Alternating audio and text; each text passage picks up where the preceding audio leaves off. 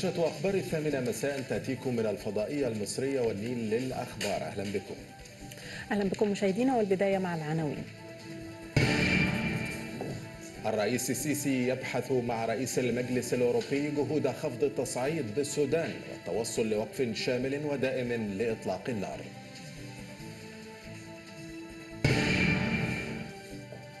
إعادة تمركز البعثة المصرية بالخرطوم لتتمكن من العمل بشكل أفضل لإجلاء ما تبقى من أبناء الجالية بالسودان.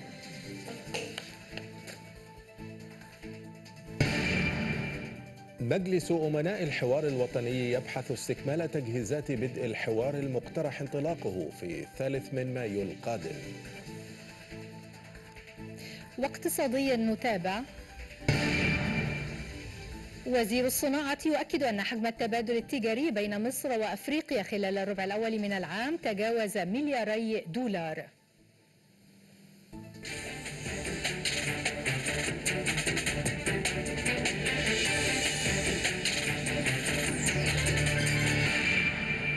تفاصيل النشرة أهلا بكم. أكد السيد الرئيس عبد الفتاح السيسي قوة العلاقات التاريخية التي تجمع بين مصر واليمن. مشددا على الموقف المصري الثابت إزاء دعم وحدة وسيادة الدولة اليمنية وسلامة مؤسساتها الوطنية. وخلال استقباله الدكتور رشاد العليمي رئيس مجلس القيادة الرئاسي اليمني أكد الرئيس السيسي أن مصر تدعم كافة الجهود الرامية لإيجاد حل سياسي شامل ومستدام بما يحافظ على وحدة اليمن وتماسك مؤسساتها الشرعية.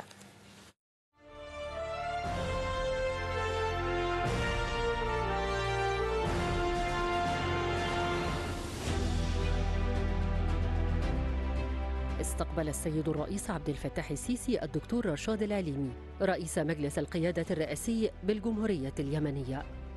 صرح المستشار أحمد فهمي المتحدث الرسمي باسم رئاسة الجمهورية أن اللقاء الأخوي بين السيد الرئيس ورئيس مجلس القيادة اليمني شهد قيام الدكتور رشاد العليمي بإطلاع السيد الرئيس على مستجدات المشهد اليمني والجهود الجارية من أجل التوصل لحل سياسي للأزمة اليمنية. من جانبه. أكد السيد الرئيس قوة العلاقات التاريخية التي تجمع بين البلدين الشقيقين والموقف المصري الثابت إزاء دعم وحدة وسيادة الدولة اليمنية وسلامة مؤسساتها الوطنية وتشجيع كافة الجهود الرامية لإيجاد حل سياسي شامل ومستدام بما يحافظ على وحدة البلاد وتماسك مؤسساتها الشرعية.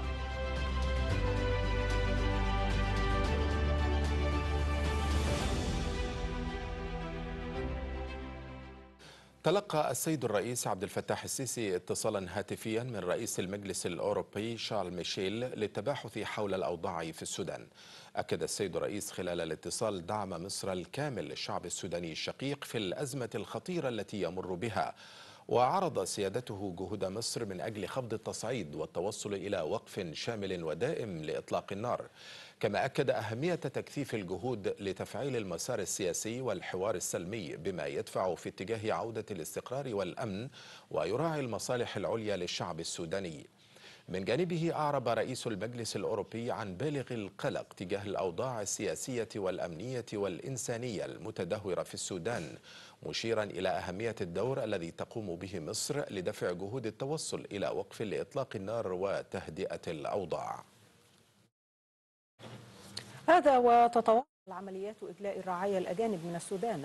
وقد أعلنت وزارة الخارجية إعادة تمركز البعثة المصرية في الخرطوم حتى تتمكن من العمل بشكل أفضل لإجلاء ما تبقى من أبناء الجالية المصرية بالسودان وأكد المتحدث باسم الخارجية أن أجهزة الدولة المعنية مستمرة في تقييم الوضع الأمني في السودان على مدار الساعة وتنفيذ الخطة الموضوعة لعمليات إجلاء المواطنين بما يضمن إعادتهم إلى أرض الوطن بشكل آمن. كما أكدت الخارجية أن البعثتين القنصليتين في بور سودان ووادي حلفة مستمرتان في المساعدة في عمليات إجلاء المصريين. يأتي ذلك بينما تواصل عدة دول عربية وأجنبية إجلاء رعاياها من السودان حيث أعلنت السعودية وصول سفينة تقل 1687 شخصا من أكثر من 50 دولة إلى المملكة فارين من العنف في السودان. من جانبها أعلنت وزيرة الداخلية البريطانية أن بلادها أجلت ما يتراوح ما بين 200 إلى 300 من مواطنيها مؤكدة أن عمليات مكثفة تجرى لمساعدة البريطانيين بالسودان. كما أعلنت الخارجية الهولندية أن طائرة على متنها 104 أشخاص تم إجلاؤها من السودان. بينما أعلنت وزارة الدفاع الألمانية اكتمال مهمة إجلاء رعاياها من السودان البالغ عددهم 700 شخص. ميدانيا شهد اتفاق وقف إطلاق النار الذي دخل حيز التنفيذ أمس الثلاثاء التزاما جزئيا حيث تواصلت المعارك في محيط مواقع استراتيجية بالخرطوم في حين تبادل الطرفان الاتهامات بخرق الهدنة. في تلك الأثناء أكد الجيش السوداني أن الرئيس السابق عمر البشير محتجز في مستشفى تم نقله إليها من سجن كوبر قبل اندلاع القتال العنيف بالبلاد الأسبوع الماضي. من ناحية أخرى أعلنت الداخلية السودانية أن قوات الدعم السريع اقتحمت خمسة سجون بينها سجن كوبر في العاصمة الخرطوم. أعلن البيت الأبيض مقتل أمريكي ثان خلال أعمال العنف في السودان مؤكدا العمل على تسهيل إجلاء عدد من الأمريكيين الراغبين في مغادرة البلاد. قال المتحدث باسم الأمن القومي في البيت الأبيض جون كيربي إن العنف تراجع بشدة في السودان مؤكدا مواصلة العمل دبلوماسيا مع طرفي القتال من أجل التوصل لوقف دائم لإطلاق النار. كما أكد كيربي أن هناك حاجة للإبقاء على وقف إطلاق النار وتمديده لمعالجة الأزمة إنسانياً. وخلال جلسة طارئة لمجلس الأمن الدولي حول الأوضاع في السودان شدد مندوب مصر الدائم لدى الأمم المتحدة السفير أسامة عبد الخالق على ضرورة الوقف الفوري والشامل إطلاق النار وضمان الالتزام به بما لا يقتصر على الأغراض الإنسانية. كما أكد مندوب مصر أن النزاع في السودان شأن داخلي محذرا من أي تدخل خارجي. تشدد مصر على ضرورة الوقف الفوري والعام والشامل لإطلاق النار وضمان الالتزام به وبما لا يقتصر على الأغراض الإنسانية فقط. وذلك حقنا للدماء السودانية وحفاظا على أمن وسلامة المدنيين ومقدرات الشعب السوداني الشقيق. ثانيا إن النزاع في السودان هو شأن داخلي خاص. وتحذر مصر في هذا الخصوص من أي تدخل خارجي في السودان أيا كانت طبيعته أو مصدره بما من شأنه أن يؤجج الصراع. وبحيث نتجنب جميعا داخليا في السودان وإقليميا ودوليا معاناة تكرار التجارب المزعزعة للاستقرار والسلم والأمن التي شهدناها ولا نزال نشهدها في دول أخرى في المنطقة داخل إفريقيا وخارجها.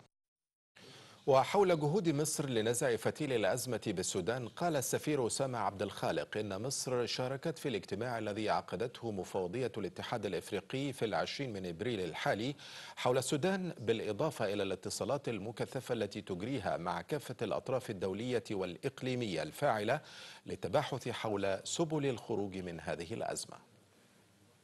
شاركت مصر في 20 إبريل الحالي في الاجتماع الخاص الدولي الذي عقدته مفوضية الاتحاد الإفريقي حول الوضع في السودان وانضمت إلى البيان الختامي الصادر عنه إلى جانب الاتصالات المكثفة التي تجريها مصر مع كافة الأطراف الفاعلة الدولية والإقليمية. على مستوى مسؤولي الدول والمنظمات للتباحث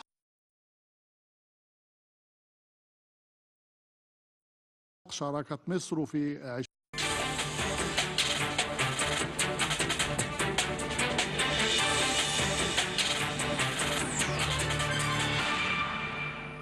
عقد مجلس أمناء الحوار الوطني اجتماعا لاستكمال تجهيزات بدء الحوار المقترح انطلاقه في الثالث من مايو القادم. المنسق العام للحوار الوطني ضياء رشوان أكد إصرار كل الأطراف المشاركة في الحوار على نجاحه تحقيقا لأمال وتطلعات شعبنا العظيم.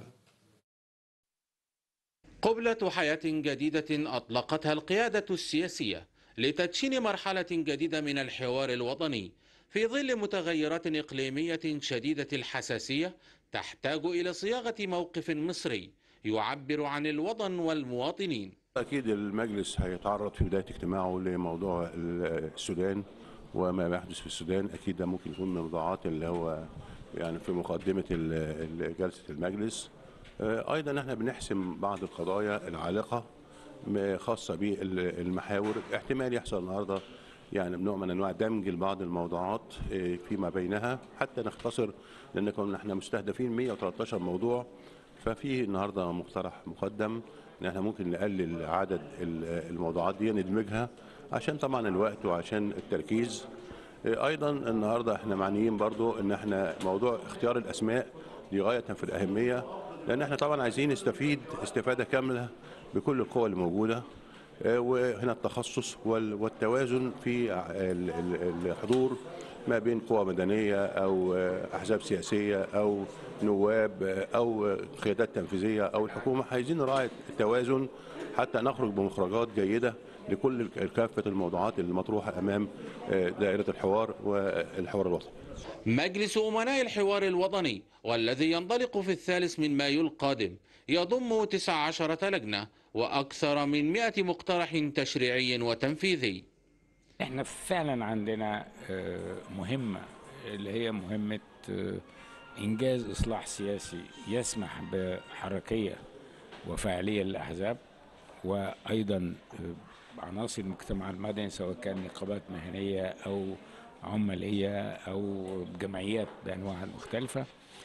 وأيضا يسمح بتشكيل آه، مجالس ممثلة سواء على المستوى القومي نواب وشيوخ أو على مستوى المحليات. ودي قضية مهمة جدا تمثل الحياة اليومية للمواطن.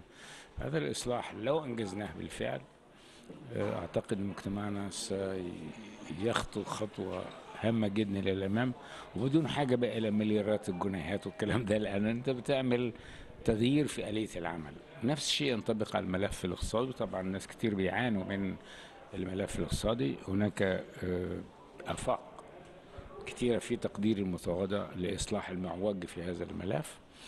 وأخيرا الملف المجتمعي بكل تفرعاته التعليم الصحة الأسرة الشباب آه، كل دي أمور آه، بنراهن على أن الحوار الوطني ينجح. في أن يحدث نقلة في حياة مجتمعنا بحيث نقدر نتعامل مع هذه الملفات بنوع من الإخلاص والجدية. الحوار الوطني يسير في ثلاث مسارات رئيسية المجتمعي والاقتصادي والسياسي ويمكن تحت كل واحدة من دول في موضوعات حاولنا أنها تكون بتغطي كل ما يشغل بال المواطن المصري. يمكن فعلا التجهيزات خدت وقت طويل لأنه كان من الصعوبة بمكان أنه الأطراف السياسية المختلفة تتفق على موضوعات معينة بعينها وتتفق على أولويتها وتتفق على إطار زمني وهيكل للمشاركين. فيعني خلصنا الصعب وإن شاء الله اللي جاي يكون مثمر محطة هامة من محطات الحياة السياسية التي تعيشها مصر بفضل قيادتها السياسية إيمانا بقيمة الحوار وتبادل الرؤى لإيجاد حلول لأي قضايا على أولويات الدولة. محمد محروس التلفزيون المصري. للمزيد من المتابعة ينضم هنا هاتفيا الدكتور طلعت عبد القوي عضو مجلس أمناء الحوار. دكتور طلعت سياق زمني بالغ الأهمية ينعقد فيه هذا الحوار. اليوم كانت الجلسة التحضيرية ومصر تواجه عدد من التحديات في الداخل وفي الخارج أيضا في المحيط القريب منا. كيف خرجت هذه الجلسة اليوم واستعدادا لانطلاق الحوار يوم الثالث من مايو؟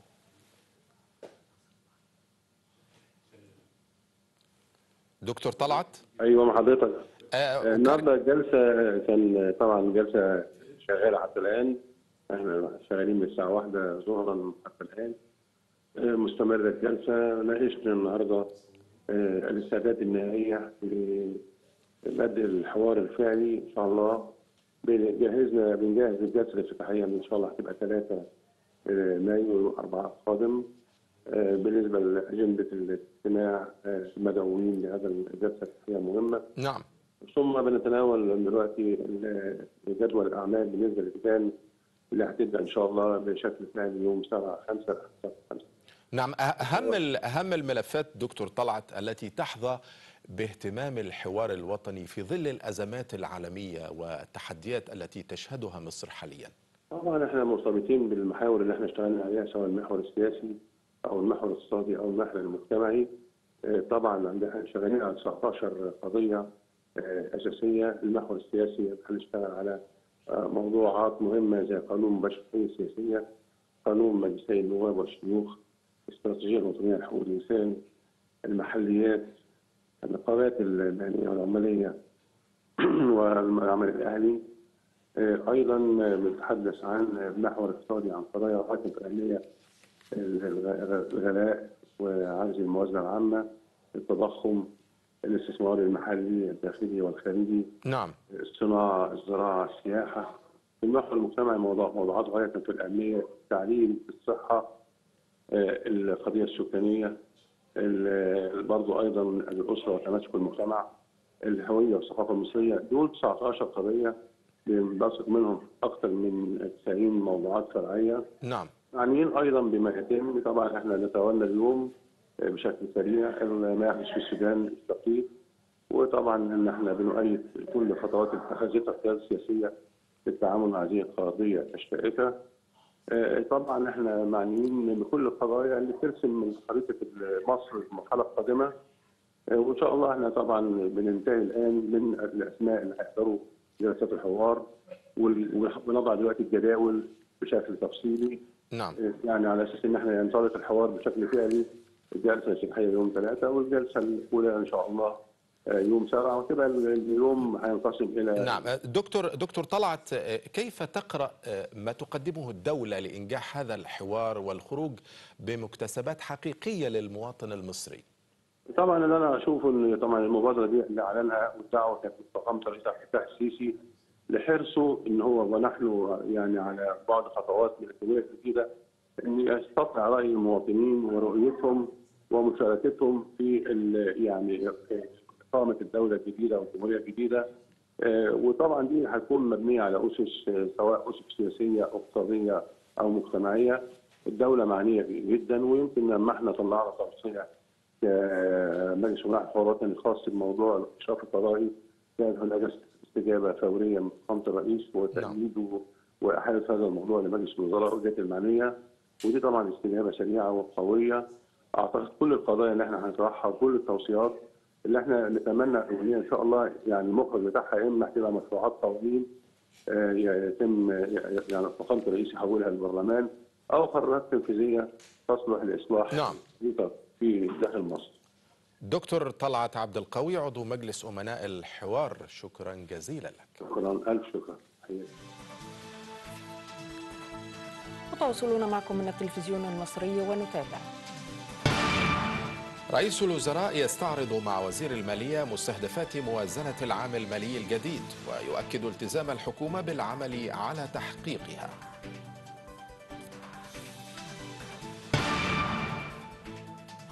مجلس الوزراء يعلن عودة العمل بالتوقيت الصيفي بدءا من الساعة الثانية عشر صباح الجمعة القادم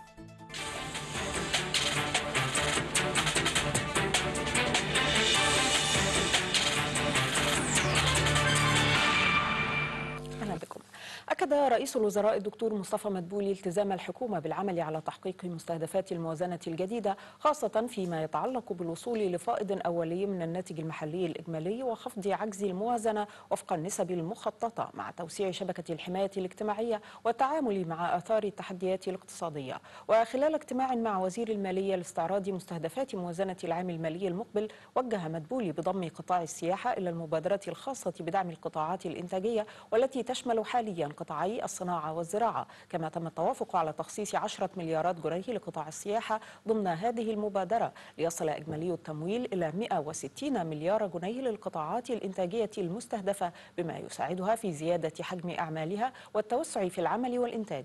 من ناحية أخرى أشار وزير المالية إلى أنه تم الاتفاق على رصد 45 مليار جنيه لشراء القمح المحلي من المزارعين هذا العام اعتبارا من أول أبريل بزيادة أكثر من 19 مليار جنيه. عن العام الماضي. أكد رئيس الوزراء الدكتور مصطفى مدبولي أن الدولة تهدف لاستدامة منظومة التأمين الصحي الشامل مشيرا إلى أهمية الدراسة الاكتوارية التي تحدد المسار الأكثر توافقا مع مستهدفات الدولة في امتداد المنظومة وتحقيق رؤية القيادة السياسية في ضغط الجدول الزمني لإنجاز المشروع. جاء ذلك خلال اجتماع عقده رئيس الوزراء لاستعراض نتائج الدراسة الاكتوارية لمنظومة التأمين الصحي الشامل.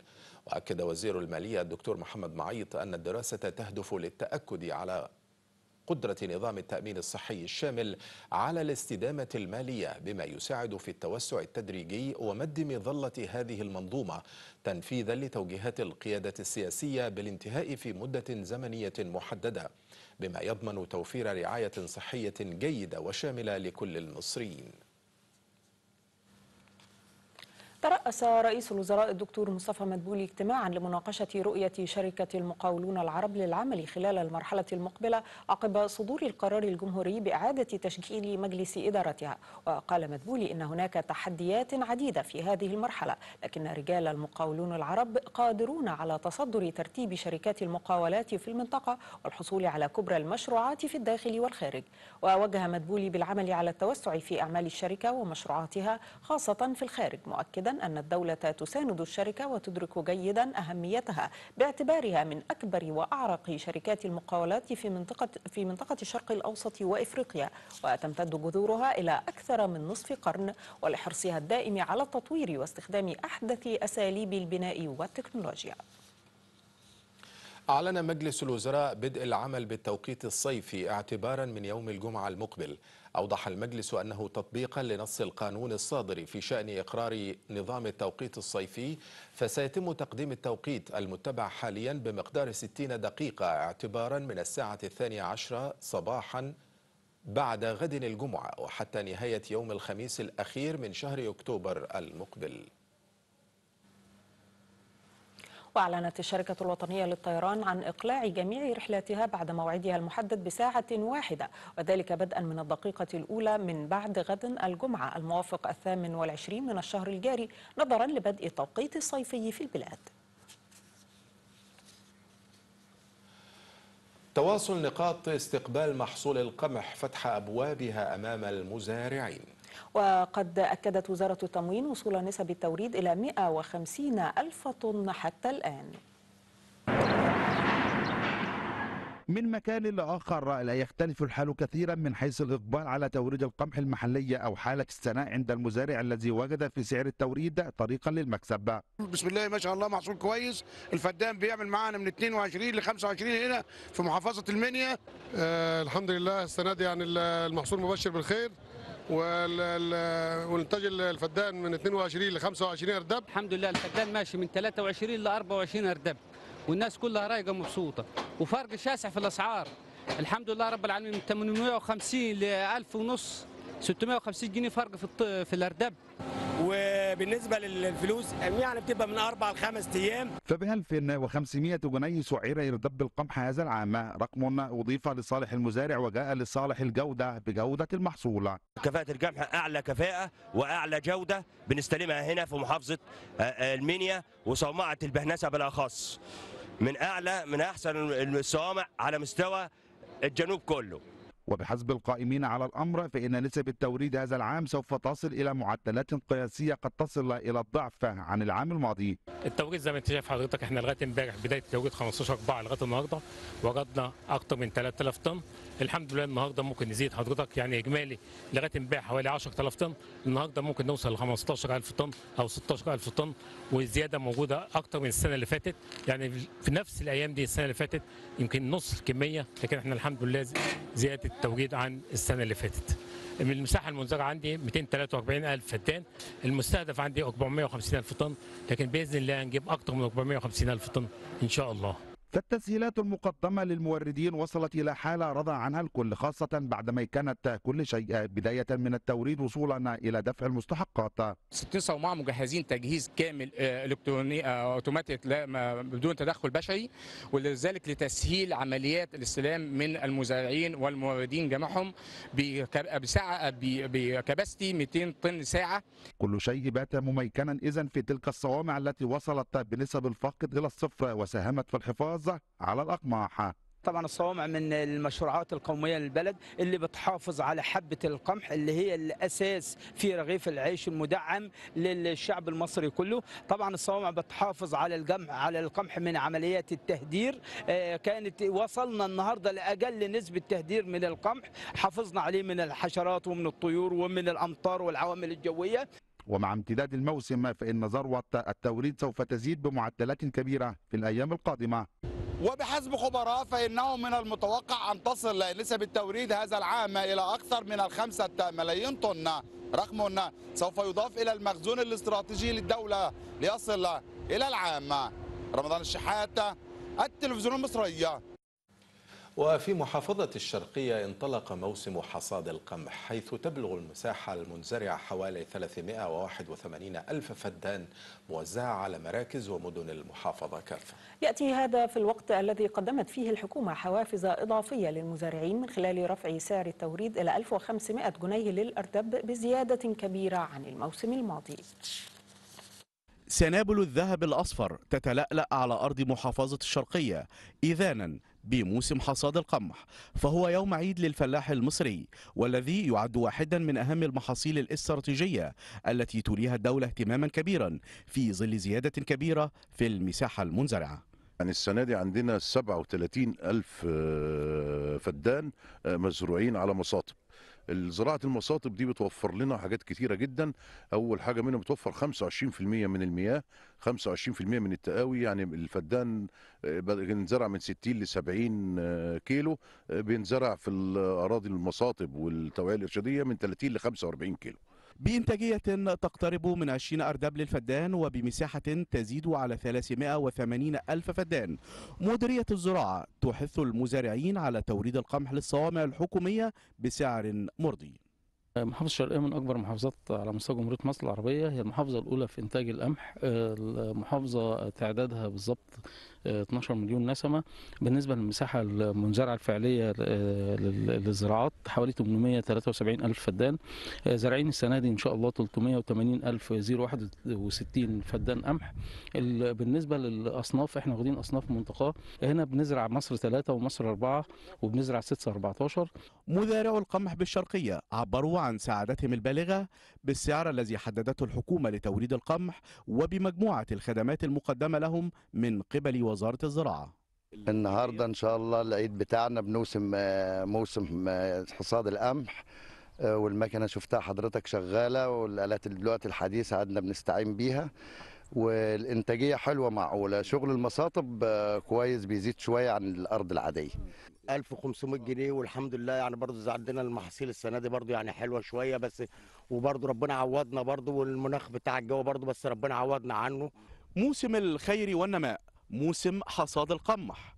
في محصول اعتاد المصريون على زراعته منذ آلاف السنين وسط حزمة من الحوافز الإضافية التي منحتها الحكومة لمزارعي القمح في هذا العام لتأمين هذا المحصول الاستراتيجي والهام من محافظة الشرقية في موسم حصاد القمح. محمد عبد الصبور التلفزيون المصري.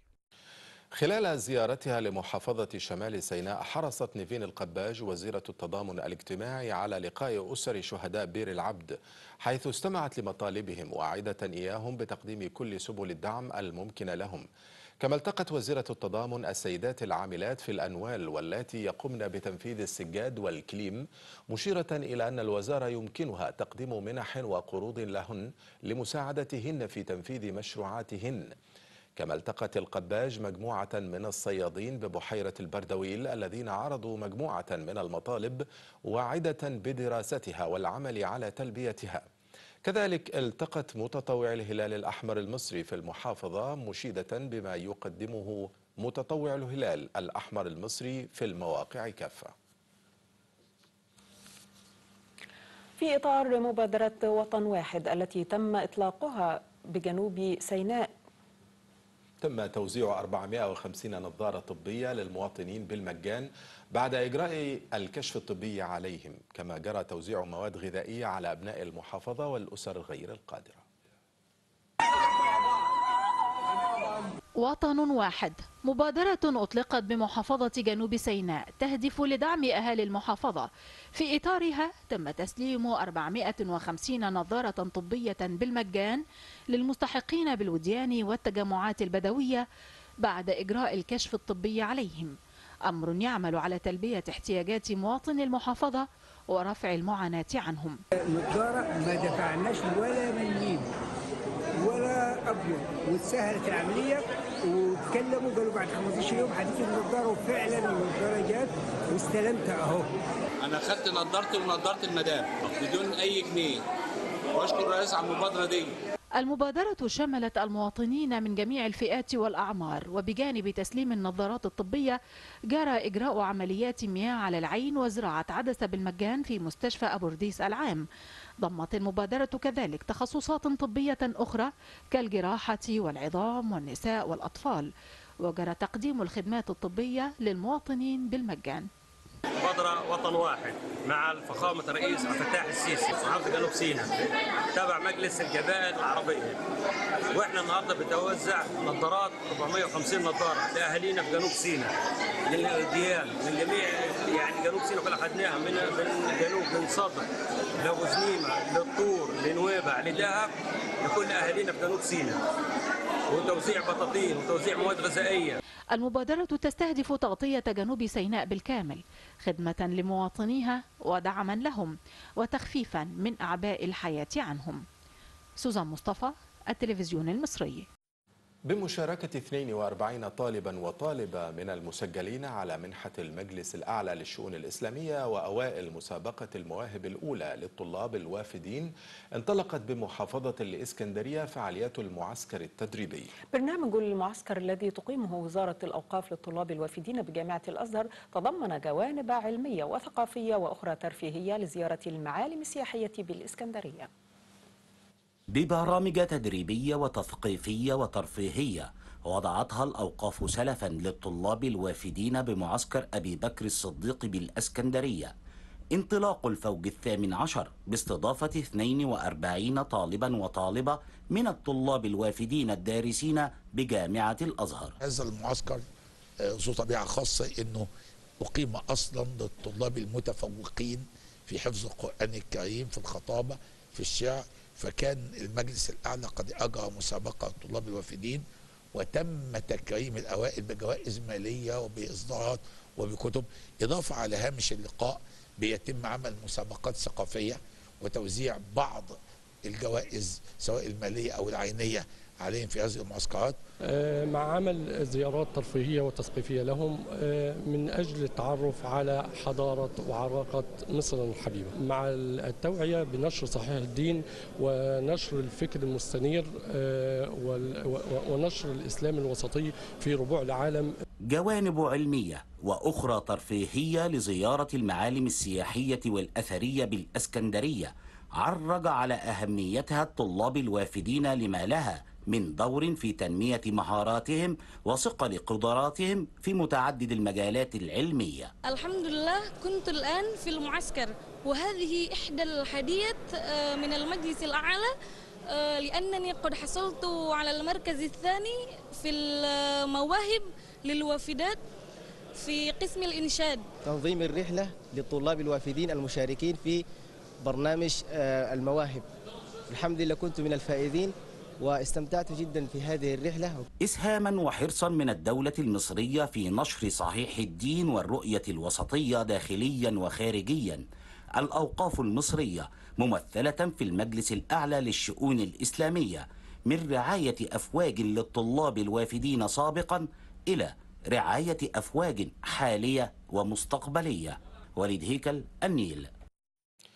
أعلنت الهيئة القومية لمترو الأنفاق عودة وانتظام حركة القطارات بمحطة حلوان ومحطات الخط الأول بالكامل من محطة المرج الجديدة حتى محطة حلوان وذلك بعد حدوث عطل فني مفاجئ بإحدى القطارات أثناء قيام أول قطار استكشاف بدون ركاب في اتجاه محطة المرج الجديدة ما أدى إلى توقف حركة القطارات وتشغيل الخط الأول من محطة المرج الجديدة حتى محطة المعصرة فقط في الاتجاهين بشكل طبيعي وتشغيل سكة سكة واحدة فقط للاتجاهين من محطة المعصرة حتى محطة عين حلوان. وأكدت الشركة المصرية لإدارة وتشغيل المترو أن فرق الطوارئ انتقلت على الفور إلى مكان العطل وتم إصلاحه وعودة حركة القطارات الخط الأول بشكل طبيعي في الاتجاهين.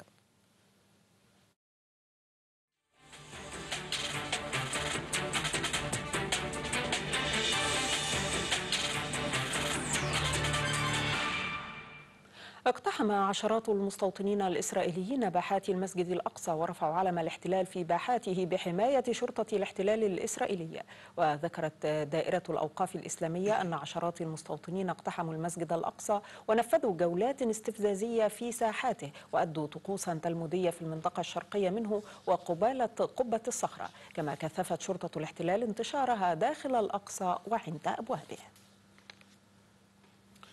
أعلن سلاح الجو الألماني اعتراض ثلاث طائرات عسكرية روسية كانت تحلق دون إرسال إشارات في المجال الجوي الدولي فوق بحر البلطيق. أوضح سلاح الجو عبر تويتر أنه جرى نشر قوات ألمانية وبريطانية لاستيضاح هوية المقاتلات. يأتي هذا بينما أعلنت هيئة الأركان الأوكرانية أن القوات الجوية شنت ست ضربات على مواقع عسكرية روسية وتمكنت من ضرب نظام للصواريخ المضادة للطائرات. وذكرت الهيئة أن القوات الجوية تمكنت في الوقت نفسه من إسقاط طائرتي استطلاع بدون طيار تابعة للقوات الروسية وأصابت الوحدات الصاروخية والمدفعية منظومة صواريخ مضادة للطائرات ومحطة رادار. أعلنت روسيا طرد عشرة دبلوماسيين نرويجيين ردا على طرد أوسلو 15 دبلوماسيا روسيا. ومن ناحية أخرى هددت موسكو بتوسيع قائمة الشركات الأجنبية المستهدفة بمصادرة مؤقتة لأصولها في روسيا. جاء ذلك غداة إصدار الرئيس فلاديمير بوتين مرسوما يتم يتم بموجبه وضع أصول وأموال الدول غير الصديقة في روسيا تحت تصرف الهيئة الفيدرالية الروسية لأملاك الدولة ردا على استيلاء هذه الدول على أصول روسيا لديها. وجاء في المرسوم أن هذه الخطوة نابعة من الضرورة الملحة للرد على الإجراءات غير القانونية للولايات المتحدة ودول أخرى لمصادرة أو تجميد أصول روسيا أو شركاتها ومواطنيها هناك. قال مندوب روسيا لدى الأمم المتحدة جياني جيتلوف إنه لم يتم إحراز تقدم حقيقي لحل القضايا التي أثرتها موسكو بشأن اتفاق تصدير الحبوب عبر البحر الأسود والذي من المقرر أن ينتهي أجل العمل به الشهر المقبل. وأوضح جيتلوف في تصريحات صحفية في مقر البعثة الروسية الدائمة في جنيف إن موقف روسيا من تمديد الاتفاق لم يتغير. كانت موسكو قد أعلنت أنها لن توافق على تمديد الاتفاق ما لم يقم الغرب بإزالة القيود على الصادرات الروسية من الحبوب والأسمدة. أعلنت الحكومة الصينية أنها سترسل وفدا إلى أوكرانيا بهدف البحث عن تسوية سياسية للنزاع بعد الإعلان عن أول اتصال هاتفي بين الرئيس الصيني شي جين بينغ ونظيره الأوكراني فلاديمير زيلينسكي منذ بدء العملية العسكرية الروسية. وقالت الخارجية الصينية إن بكين سترسل ممثلا خاصا عن الحكومة الصينية إلى أوكرانيا ودول أخرى لإجراء محادثات معمقة مع جميع الأطراف من أجل تسوية سياسية للأزمة الأوكرانية. وعقب الاتصال الهاتفي أعلن زيلينسكي تعيين وزير الصناعات الاستراتيجية السابق بافلو ريابكين سفيرا لأوكرانيا في الصين. أعلن مسؤول أمريكي أن الولايات المتحدة سترسل غواصة نووية إلى سواحل كوريا الجنوبية لتعزيز قدراتها على الردع في مواجهة جارتها الشمالية. أكد المسؤول الأمريكي أنه سيتم الإعلان عن نشر الغواصة المجهزة بصواريخ باليستية ذات القدرة النووية في إطار إعلان واشنطن الذي سيقره الرئيس الأمريكي جو بايدن ونظيره الكوري الجنوبي يون سوك يول الذي يزور الولايات المتحدة حالياً. أجرت الولايات المتحدة والفلبين التدريب الأخير في أكبر مناورات عسكرية مشتركة بين البلدين في بحر الصين الجنوبي والذي تطالب بكين بالسيادة عليه بأكمله. وتهدف هذه التدريبات السنوية إلى تعزيز القدرة العسكرية لمانيلا والسماح للولايات المتحدة بتأكيد وجودها في المنطقة. وشارك نحو 18 ألف جندي في هذه التدريبات السنوية والتي استمرت أسبوعين أي ما يعادل ضعف عدد العسكريين في مناورات العام الماضي.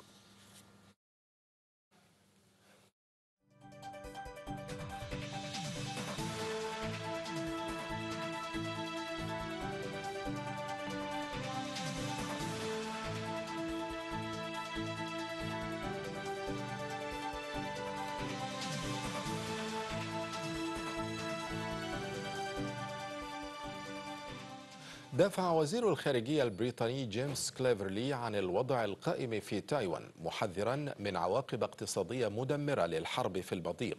وقال كليفرلي إن الحرب في تلك المنطقة لن تتسبب في مأساة إنسانية فحسب بل ستدمر 2.6 تريليون دولار من حجم التجارة العالمية.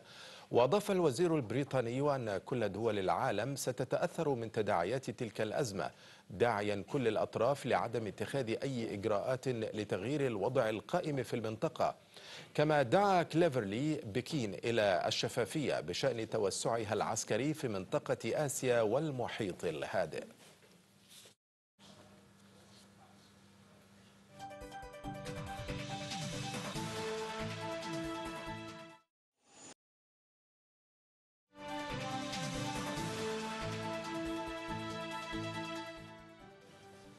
الآن موعد أخبار المال والأعمال أخبار الاقتصاد في نشرة ثامنة مع حنان الخولي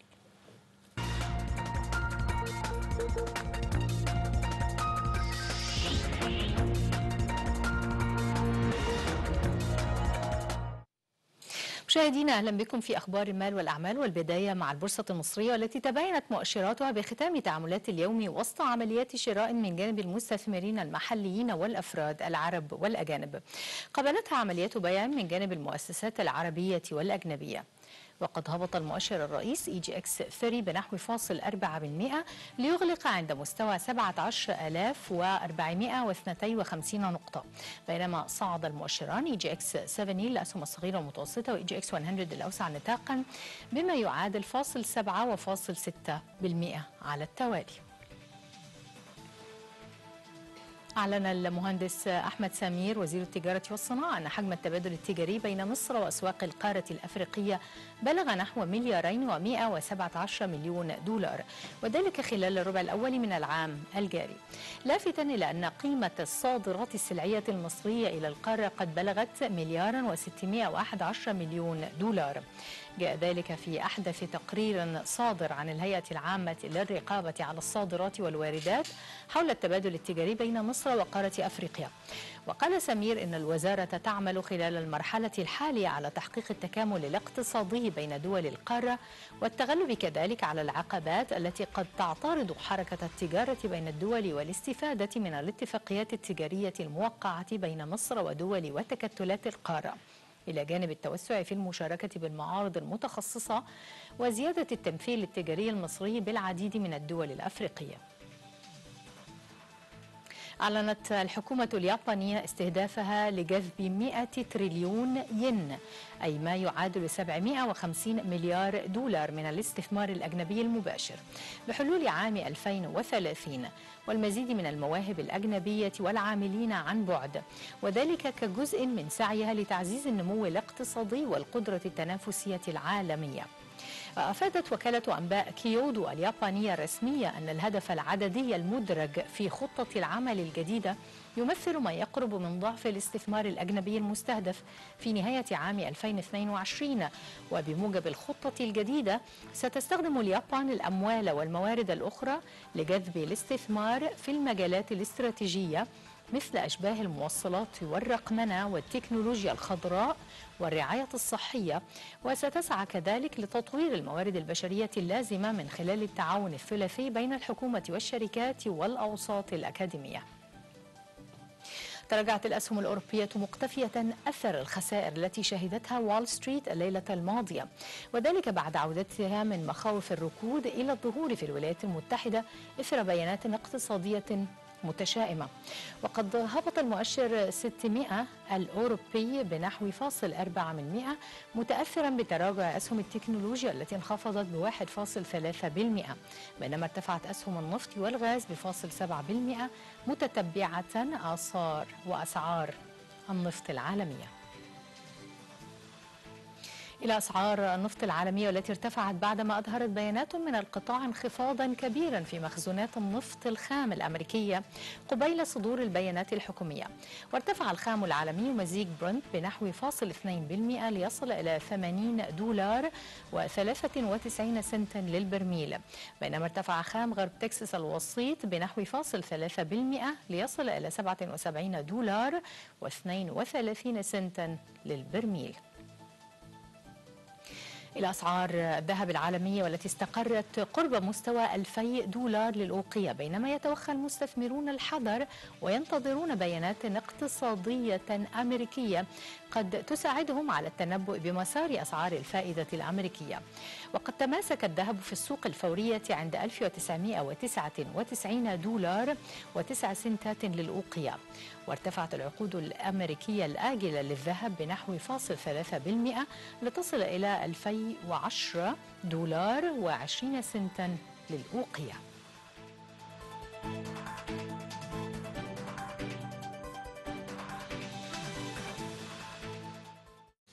أهلا بكم من جديد تشجيعا من رابطة الخيول العربية الأصيلة بالفيوم لطلاب المدارس على تعلم الفروسية وتدريب الخيول.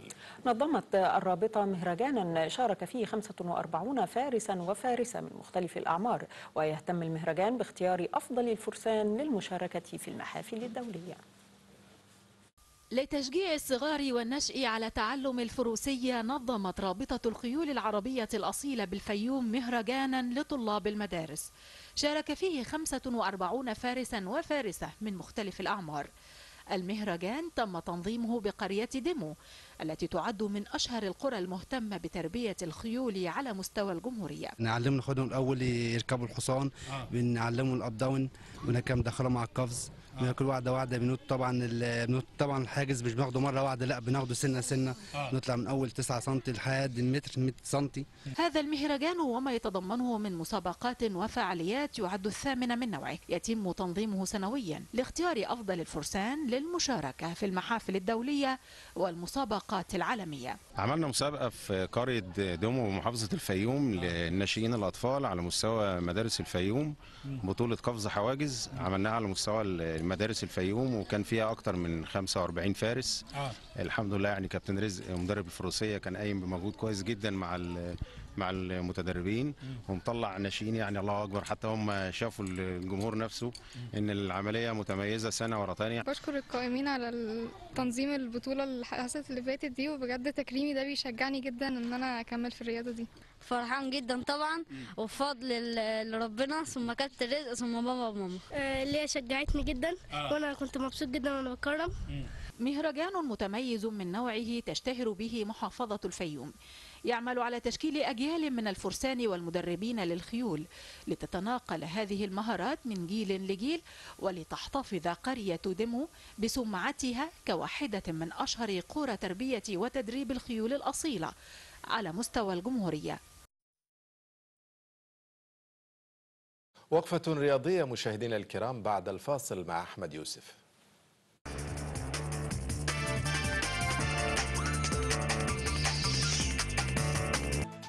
وبعد الفاصل نستعرض الأحوال الجوية والطقس مع نهى محمود.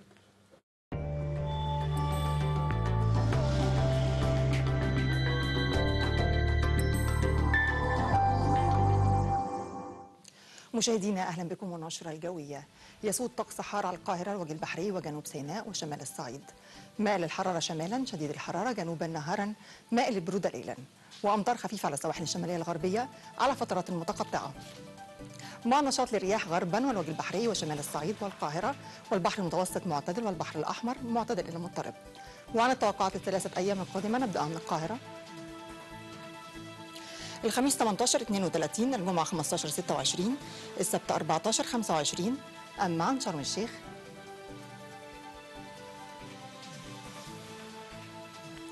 الخميس 22 33 الجمعة 20 34 السبت 19 29 وأخيرا مع الأقصر.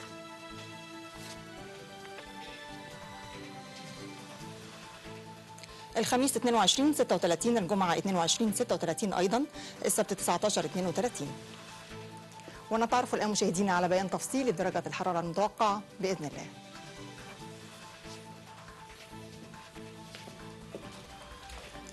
القاهرة 18 32 الإسكندرية 16 24 دمياط 16 28 بورسعيد 16 29 العريش 17 28 رفح 17 27 الإسماعيلية 17 34 السويس 18 32 مطروح 15 22 وادي النطرون 16 31 المنصورة 17 31 طنطا 17 32 دمنهور 17 30 سانت كاترين 6 25 الغردقة 22 35 شرم الشيخ 22 33 الفيوم 18 32 المنيا 17 34 أسيوط 17 34 سوهاج 19 35 قنا 22 36 الأقصر 22 36 الوادي الجديد 22 35 أسوان 21 36 حلايب 22 27 شلاتين 23 31 أبرمد 21 30 رأس حضربة 22 26 نهاية النشرة وهذا تذكير بأبرز العناوين.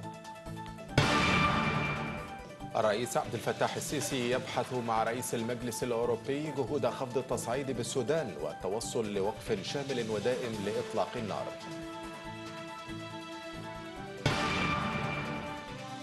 إعادة تمركز البعثة المصرية بالخرطوم لتتمكن من العمل بشكل أفضل لإجلاء ما تبقى من أبناء الجالية بالسودان.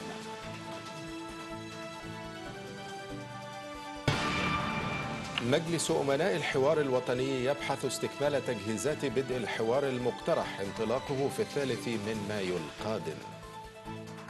انتهت نشرة الثامنة. شكرا لكم مزيد من التفاصيل عبر موقعنا الإلكتروني نايل dot EG وماسبيرو dot EG. شكرا لكم مشاهدينا الكرام. إلى اللقاء. إلى اللقاء.